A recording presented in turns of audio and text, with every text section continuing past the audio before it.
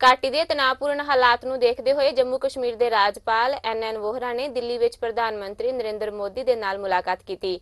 ਇਸ ਮੁਲਾਕਾਤ ਨੂੰ ਕਾਫੀ ਅਹਿਮ ਮੰਨਿਆ ਜਾ ਰਿਹਾ ਹੈ। ਜਾਣਕਾਰੀ ਮੁਤਾਬਕ ਇਸ ਬੈਠਕ ਦੇ ਵਿੱਚ ਜੰਮੂ ਕਸ਼ਮੀਰ ਦੇ ਵਿਸ਼ਿਆਂ ਤੇ ਵਿਸਥਾਰ ਦੇ ਨਾਲ ਗੱਲਬਾਤ ਕੀਤੀ ਜਾ ਰਹੀ ਹੈ। ਸੂਤਰਾਂ ਤੋਂ ਮਿਲੀ ਜਾਣਕਾਰੀ ਮੁਤਾਬਕ ਕਸ਼ਮੀਰ ਘਾਟੀ ਵਿੱਚ ਕਈ ਅਤਵਾਦੀ ਵਾਰਦਾਤਾਂ ਵਿਚਕਾਰ ਪੈਦਾ ਹੋਏ ਤਣਾਅ ਦੇ ਦੌਰਾਨ ਪ੍ਰਧਾਨ ਮੰਤਰੀ ਮੋਦੀ ਦੇ ਨਾਲ ਰਾਜਪਾਲ ਦੀ ਮੁਲਾਕਾਤ ਕਾਫੀ ਜ਼ਰੂਰੀ ਵੀ ਸੀ।